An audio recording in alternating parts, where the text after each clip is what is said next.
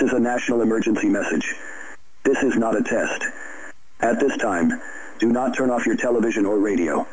All cable systems and broadcasting stations will transmit this message at the request of the White House. Please stand by.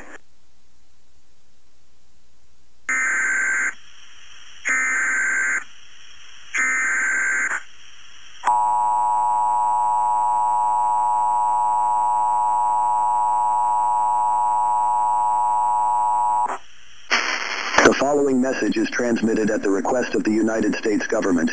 This is not a test. All travel to the eastern United States have been suspended indefinitely.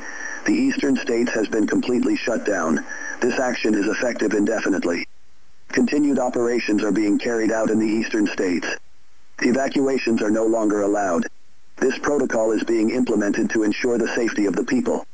The eastern states have been declared the dead zone. Operations are underway to block off the western states from the overtaken eastern states. The U.S. government is no longer able to assist those in the eastern states. Attempting to cross the military border will result in immediate execution. You must comply with the safety regulations. This message will now conclude.